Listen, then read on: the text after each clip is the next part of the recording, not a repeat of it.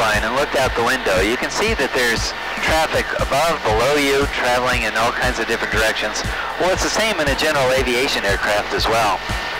One thing for the Flight for the Human Spirit that I really wanted to have was a traffic collision avoidance system.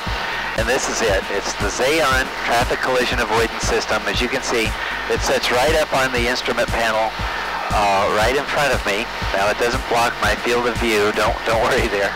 Uh, but this system is very nice. Any aircraft that's transmitting with a transponder, this will pick up in a six mile radius around Hope 1.